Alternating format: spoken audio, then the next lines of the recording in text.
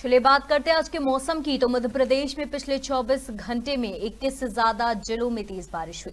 प्रदेश की दो प्रमुख नदियाँ, जो कि नर्मदा और छिप्रा, उफान पर हैं। उज्जैन में कई घाट और मंदिर छिप्रा नदी में डूब गए हैं। हिमाचल प्रदेश के बारिश के चलते तिहत्तर सड़कें बंद कर दी गई हैं।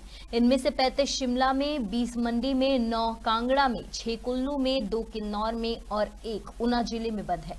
इधर उत्तर प्रदेश के बलिया की बात करें तो वहाँ भी सरयू नदी में पीपा पुल बह गया लखीमपुर खीरी में नाले में दो युवक डूब गए। इसमें से एक की मौत भी हो गई। आज राजस्थान के चार जिलों में बारिश का रेड अलर्ट है। हिमाचल प्रदेश में 27 जून को मानसून सीज़न की शुरुआत से लेकर 23 अगस्त को हुई थी।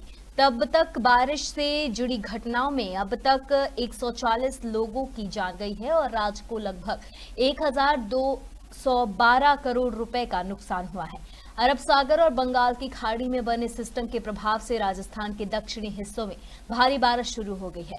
आज राजस्थान के चार जिलों में आत भारी बारिश का रेड अलर्ट जारी किया गया है।